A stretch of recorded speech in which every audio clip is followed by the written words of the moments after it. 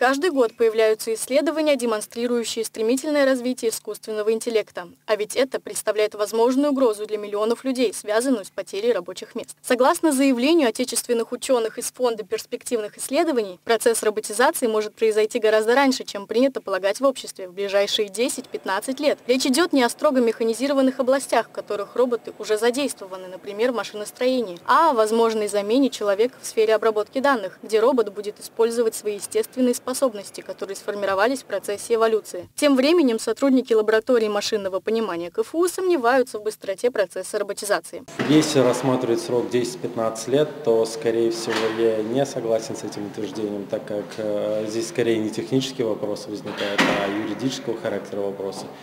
То есть, если заменять какую-то профессию, то кто будет нести ответственность за искусственный интеллект? Например, если мы берем автономные машины, если сейчас, скажем, вот э, в Калифорнии и в Аризоне, штате в США, автономные машины выезжают на дороги, то как бы само движение автомобиля уже решено практически полностью, то есть они спокойно полностью едут по всем этим выделенным линиям, соблюдают все условия и все прочее.